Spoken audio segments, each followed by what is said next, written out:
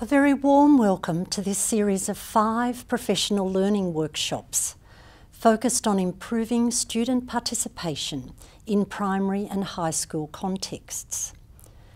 There is now a considerable emphasis in educational policy and practice in Australia on matters related to student voice, leadership and decision making.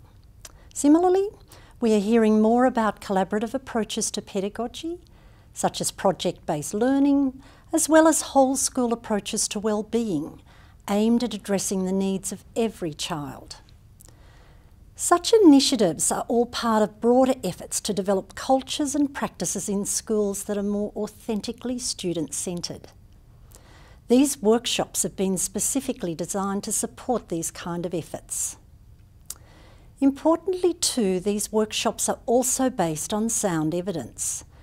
They have been developed from the findings of a major study funded by the Australian Research Council, which identified key elements of participation that are positively associated with student well-being. This is significant because we can now direct our efforts at student participation in ways that will also improve well-being at school. The five workshops have been designed as one hour standalone professional learning sessions.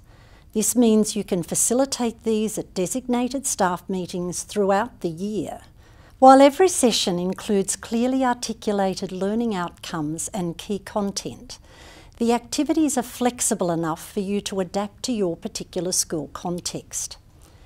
Importantly, there are structured opportunities for you to apply the learning back in your classrooms and a workbook for you to note down insights you may wish to return to at a later time.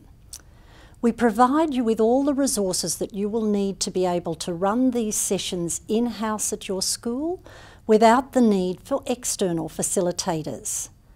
We hope you find the learning affirms many of your current practices and we also hope the sessions will stimulate critical thinking, discussion and planning around the ways that student participation and well-being might be further enhanced at your school. There is no doubt that the shift towards developing authentically student-centred schools requires some level of reflection on attitudes, values, assumptions and beliefs that underpin existing practices. Good news is that when it comes to participation and well-being at school, the evidence suggests that the little things are the big things. Having someone who knows me and likes me, the principal knowing my name, being heard, feeling like I can contribute, and these are things that generally matter to all of us.